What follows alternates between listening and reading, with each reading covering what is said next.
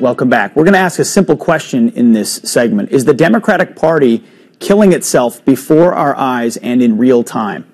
That's the argument laid out by writer Ian Henderson in a new piece on the conservative website American Greatness. He writes in part, and I quote, Increasingly so, more whites are realizing that the economically center left and socially, culturally conservative part of FDR and JFK no longer exists. The old Democratic Party was a pro labor, pro union party. Today, the Democratic Party is the party of open borders, multiculturalism, and environmentalism, positions that reduce wages, divide communities, and undermine economic prosperity. The traditional base of white working class Democrats either cannot relate to or are opposed to these policies, and as a result, have been leaving the Democratic Party in droves. Joining us now to debate is Garland Nixon, a radio talk show host and Democratic strategist, along with actor and current Republican congressional candidate in California, Antonio Sabato Jr. Thank you both for joining us this morning. Thank you. Garland, I'm going to start with you. As a member of that party, do you feel like the party of yesteryear is no longer the party of today, and as a result, you're losing crucial blocks of support?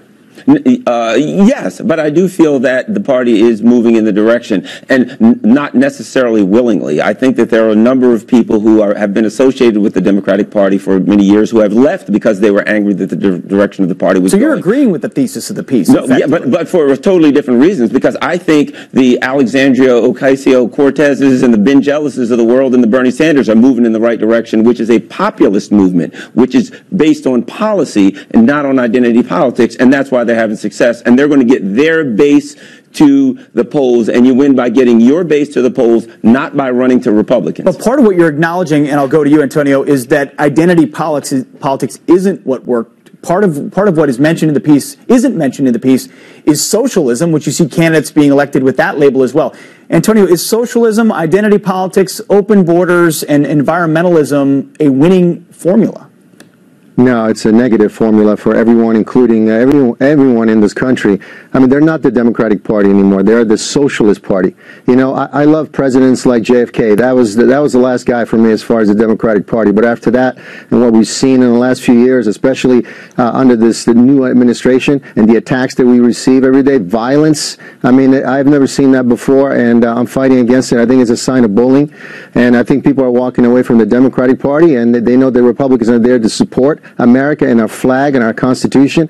And that's what we're here to do, to bring prosperity and peace. That's what mm-hmm. we want. And we want to protect our country. What's more important than that? Well, good point, Garland. A great example of the impossible choice that is the modern Democratic Party is traditionally uh, the party of unions, of the working man. Yet at the same time now, very much beholden to environmental interests uh, who have a different priority and have sunk industries that, that President Trump has said, I want to bring back because I want clean water and I want clean air, but I don't want ridiculous environmental regulations that undercut right. entire industries. Garland, how do you, how do you square that circle? By disagreeing with you because I don't think that industries industries have been sunk by environmental regulations. I think industries have been sunk by poor decisions and deregulated environments. That that the two things are not the same. You Wait, can't you, just because energy, we have a clean environment. We don't we don't have to we don't have to poison ourselves just just to have a strong economy. Wait, so are we poisoning ourselves by unleashing an energy renaissance? So now we will be the world's largest producer of oil.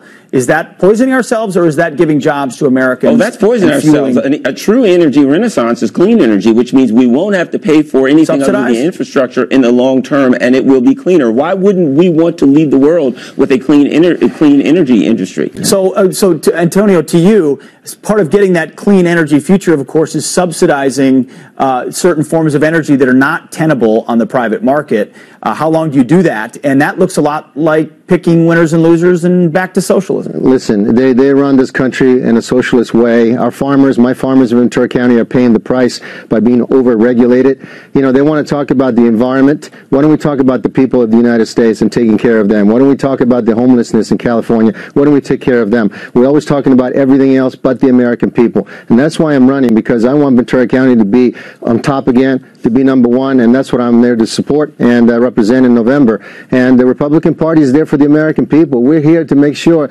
not only that the country is clean, but is actually going to the next level and being uh, great again in mm-hmm. so many levels. So what we've seen in the last, uh, you know, year and a half, it's great. What we've seen in taxes, a military, a border. Everything is, is, is going smooth, but uh, they want to fight it. They want to fight everything that this president is doing every day, well, and course, the Republican Party. I forgot that, that the resist is the other core tenet, of course, of the Democratic Party. But Garland, I was interested in one thing you said earlier, that identity politics is not the future. I mean, the whole hyphenated future, as opposed to believing we're all Americans, regardless of race, gender, sexual right. orientation. How do you get a the party this, this piece argues that the Democratic Party is based in identity politics fundamentally, and that will be its undoing. How do you undo viewing people as a subgroup as opposed to a set of principles? Well, that's easy because we already have the formula for that. We watched Bernie Sanders. Bernie Sanders was a 74 year old Jewish guy that had a lot of success doing that. We see now a 20, 28 year old Latino woman who's has, having success Both of which that. are socialists. Right. So the bottom line is this it's about policy. Look, people,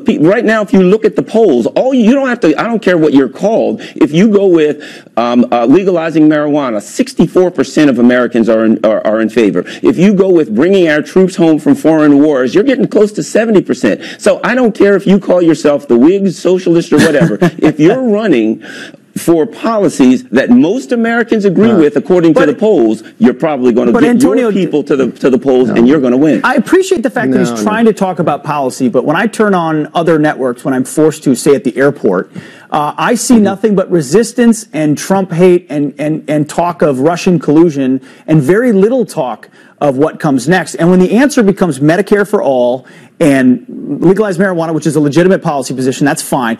And socialism, that doesn't, in America, doesn't strike me no. as something that will socialism, work. Has socialism, socialism ever unless worked? you've seen it. It never worked in any country. You know, my family escaped it.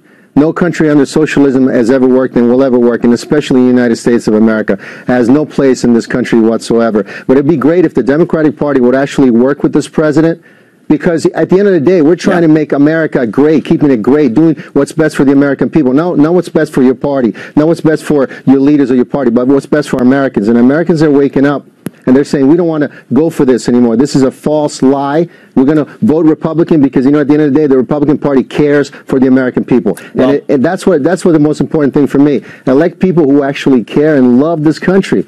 It just, Garland, feels like maybe it's the educational system, maybe it's our media, maybe it's Hollywood, but latching on to socialism, identity politics, open borders, environmentalism, thing just yeah. doesn't strike me in America. Maybe Europe, but not here as a long-term winning no. strategy. That's what the piece argues. Thank you both. Great debate. Appreciate your time. Thank you. Thank you. All right.